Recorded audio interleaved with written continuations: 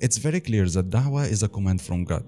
But the question is, is it fard ayn or fard kifaya? Da'wah is fard kifaya. We know that from Quran chapter 3 verse 104. A group of you should do da'wah, call to good and against bad. And those are the successful ones. Now you should ask yourself, are there enough people doing it or are they very few and getting overwhelmed by the enemies of Islam? And the reality is, from the 2 billion Muslims, all I can see now are a couple of hundred men defending Islam and doing da'wah. From 2 billion Muslims, at least in the English language. And on the other side, billions of dollars are being invested in spreading atheism, degeneracy, and destroying fitrah. Almost all media outlets focus on spreading adultery and materialism and destroying the family values.